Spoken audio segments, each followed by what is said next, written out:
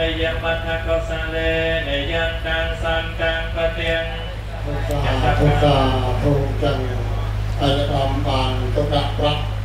ឧត្តមបណ្ឌិតញឹកមុនឆៃប្រធានគណៈបកផ្នែករូបរមជាតិនិងថ្នាក់ដឹកនាំនៃគណៈអធិបតីគណៈបកអញ្ជើញចូលរួមពិធីសមាជសាមញ្ញដែលមានសមាជិកសមាជិកាគ្រប់រាជធានីខេត្តក្រុង នៅព្រឹកថ្ងៃច័ន្ទទី26ខែកុម្ភៈឆ្នាំ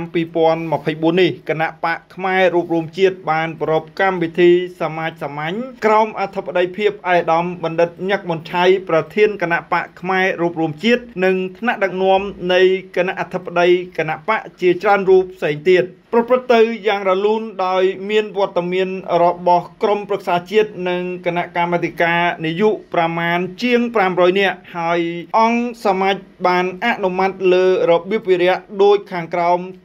យើងសំដៅលើក្មេងៗបាទហើយនៅបន្ត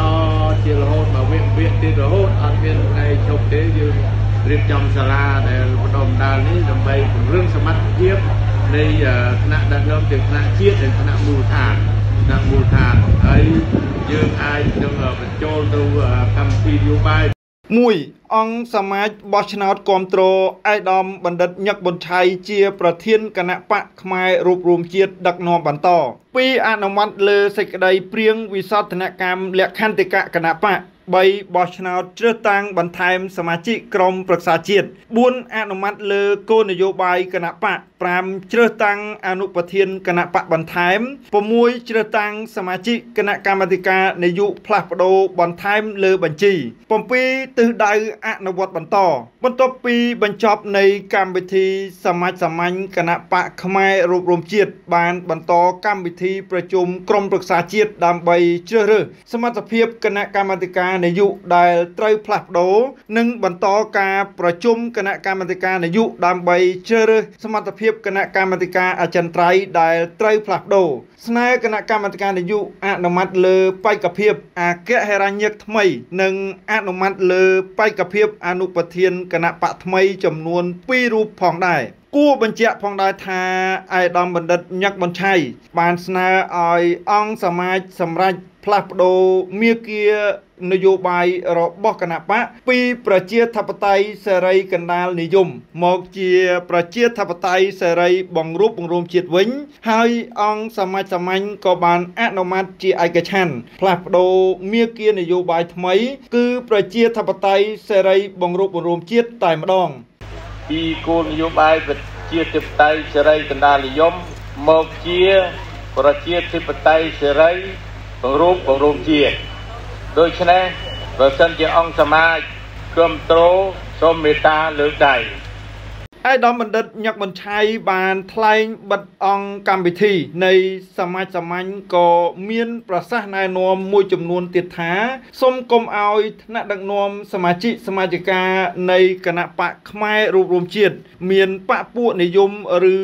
ជំងឺតួឯកនិយមត្រូវចេះសាមគ្គីយោគយល់គ្នានិងរួមគ្នាធ្វើការដើម្បីសង្គមនិងប្រទេសជាតិទាំងអស់គ្នា ជាចុងក្រោយឯកឧត្តមបណ្ឌិតក៏បានជូនពរដល់ថ្នាក់ដឹកនាំសមាជិកសមាជិកាឲ្យត្រឡប់ទៅវិញ ជួបសុខសុវត្ថិភាពនិងជួបតែពុទ្ធពរទាំង4ប្រការគឺអាយុវណ្ណៈសុខៈពលៈកំបីឃ្លៀងឃ្លាតឡើយនិងឯកឧត្តមលោកជំទាវថ្នាក់ដឹកនាំសមាជិកសមាជិកាជាពិសេសអ្នកសារព័ត៌មានដែលមានវត្តមានសូមអញ្ជើញពិសាអាហារសាមគ្គី ដោយសេចក្តីរីករាយទាំងអស់គ្នា